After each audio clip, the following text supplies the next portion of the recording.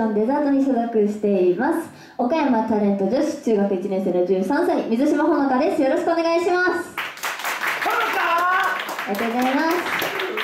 えー、っとですね昨日27日私広島遠征に行ってきまして初めて広島焼き本場のね広島焼きを食べたんですけどめっちゃ美味しくてで今日なんか知らないんですけどお昼ご飯がお好み焼きで家で食べたんですけどやっぱ広島違うわと思って。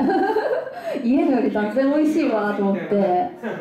店屋だからね。そう店だからね。で昨日ライブもねすごい楽しくてまた広島行きたいなと思いました。はい。待ってます。おわかりました。今度は福山で。福山で。島根そう。島根。みんな順繰り回って中国地方をぐるぐると。中四国を中四国を。まあいつかできたらいいですね。はい